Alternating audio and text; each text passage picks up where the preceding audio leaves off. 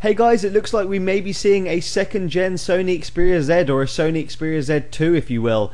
It looks like Sony are getting ready to refresh their current Sony Xperia Z and refresh it with a Snapdragon 800.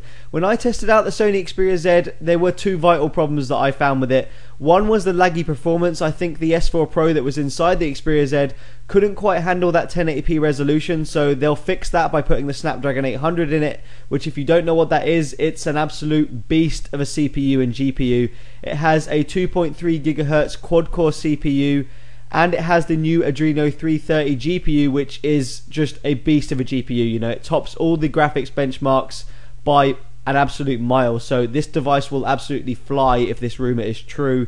And the second thing was the screen. Now, I was disappointed by the Sony Xperia Z screen. I didn't think it lived up to the hype. I thought the viewing angles kind of sucked and stuff like that. According to this leak, the uh, prototype came with the LCD3 screen with that that was on the uh, HTC One, which I thought was a really really impressive screen. So I really do hope they keep that. Although the person that was playing with this device uh, doesn't believe that it will come to the commercial model, which is a little bit disappointing. You can read his tweets right here saying, try the updated version of the Sony Xperia Z with Snapdragon 800.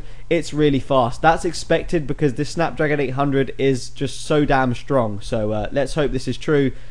But, you know, the first gen Sony Xperia Z hasn't even been out for that long. It's been out for four or five months and we're already maybe going to see a refreshed version of it. So you know, if you're a Sony Xperia Z owner, how does that make you feel? Are you annoyed with that? You know, have you just bought this, the first gen, and thinking like, what the hell, Sony? Now I have to buy this one because the Sony Xperia Z2 or the second gen with the Snapdragon 800 is going to be a hell of a lot better, especially if it has a better screen as well. You know, the performance will be off the charts. This will be right at the top of all the hardware. You know, it'll be right at the top of all the benchmarks. It will scream speed. So, um, definitely quite a cool little rumor here.